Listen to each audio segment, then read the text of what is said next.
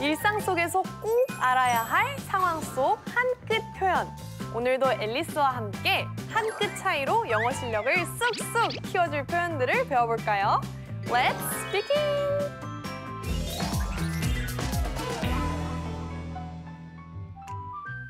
I got into a fight with my mom this morning, so I'm in such a bad mood.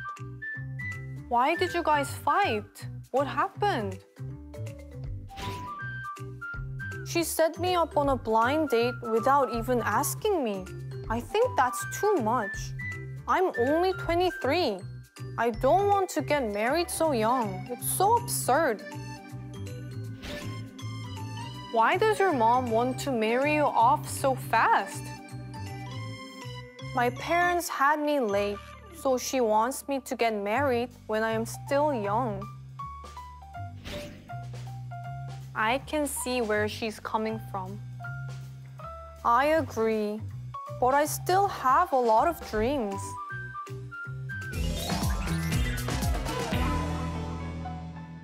결혼, 연애는 항상 흥미로운 대화 주제 중 하나인 것 같아요. 처음 보는 사람들과도 이야기할 수 있는 주제이고 친한 친구들 혹은 부모님과도 자주 이야기하게 되는 주제 중 하나인 것 같아요. 오늘은 이렇게 자주 거론되는 주제, 결혼과 연애에 관한 표현들을 함께 배워볼까요? I got into a fight with my mom this morning, so I'm in such a bad mood. I got into a fight with my mom this morning. Get into a fight with someone. 누군가와 싸우다, 다투다.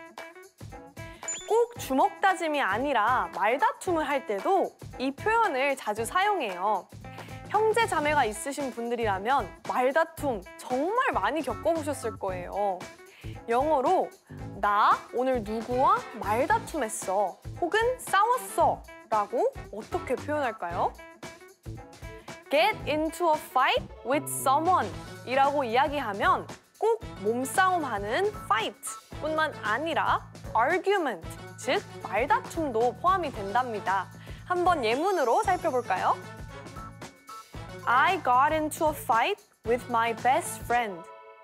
내 단짝이랑 싸웠어. I got into a fight. 나 싸웠어. with my best friend. 내 단짝이랑. Why did you get into a fight with your mom? 너희 어머니랑 왜 싸웠어? Why did you? 너 왜? Get into a fight. 싸웠어? With your mom. 너희 어머니랑. I don't want to get into a fight with you. 난 너랑 싸우고 싶지 않아. I don't want to get into a fight. 나 싸우고 싶지 않아. With you. 너랑. 누군가와 다투게 되면 상대가 누구든 간에 정말 마음이 좋지 않죠. 앞으로는 I don't want to get into a fight with you 라고 이야기해서 미리 싸움을 방지하는 건 어떨까요? 다음 표현으로 넘어가 볼까요? She set me up on a blind date without even asking me.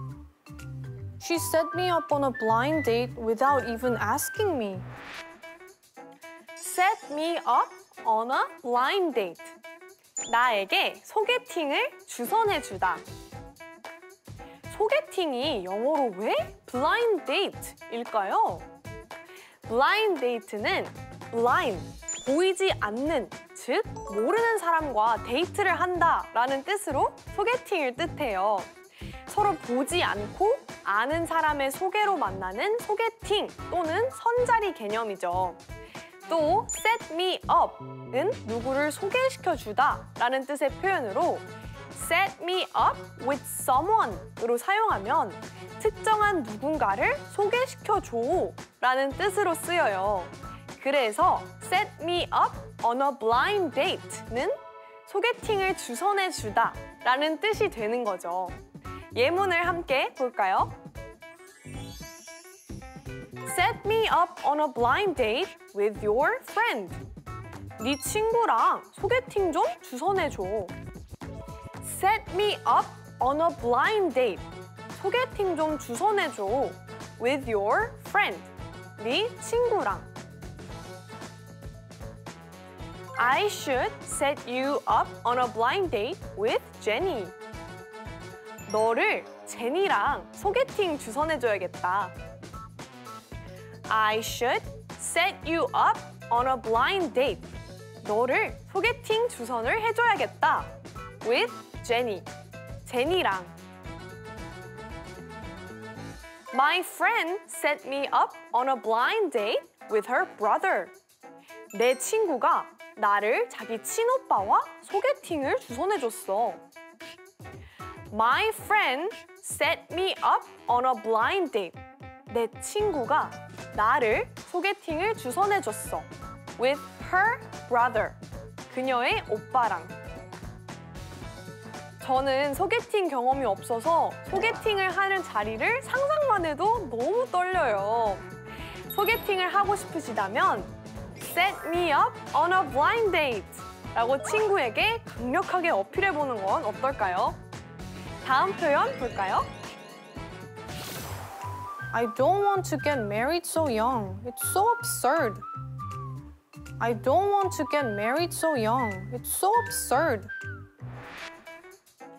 absurd. 우스꽝스러운, 터무니없는. absurd는 요즘 현지인들이 정말 많이 사용하는 표현 중 하나예요. 단어 자체는 우스꽝스러운, 터무니없는, 황당한 이란 뜻의 형용사인데 감탄사처럼 헐, 어이없네, 말도 안 돼 라는 뜻으로 단독으로도 많이 쓰여요. 비슷한 표현으로는 stupid, ridiculous가 있어요. 예문으로 함께 살펴볼까요? Don't be absurd. 터무니없게 행동하지 마. That's absurd. 그건 말도 안 돼. It's an absurd situation. 이건 바보 같은 상황이야. Don't you think it's absurd? 말도 안 된다고 생각하지 않아? 저는 요즘 친구들과 대화할 때 That's absurd. 진짜 말도 안 된다. 라는 말을 많이 사용하는 것 같아요. 여러분도 터무니없고 바보 같은 이야기를 들었을 때 absurd 꼭 사용해 보세요. 다음 표현 볼까요? My parents had me late. My parents had me late, so she wants me to get married when I am still young. had me late. 나를 늦은 나이에 낳았다. 늦은 나이에 가진 아이, 즉 늦둥이는 영어로 어떻게 표현할까요? had me late로 직역해서 늦은 나이에 낳았다 라고 표현해요. 추가로 난 외동이야 라고 이야기하려면 I'm an only child. 그리고 첫째는 the first child, the oldest child, the firstborn 이라고 해요. 둘째는 the second child, the secondborn 이라고 하고요.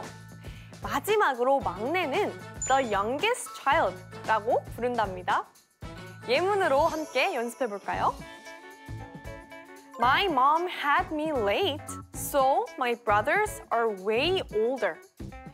우리 엄마가 나를 늦게 가져서 내 오빠들이 나보다 훨씬 나이가 많아. My mom had me late. 우리 엄마가 나를 늦게 가져서 So my brothers are way older. 내 오빠들이 나보다 훨씬 나이가 많아.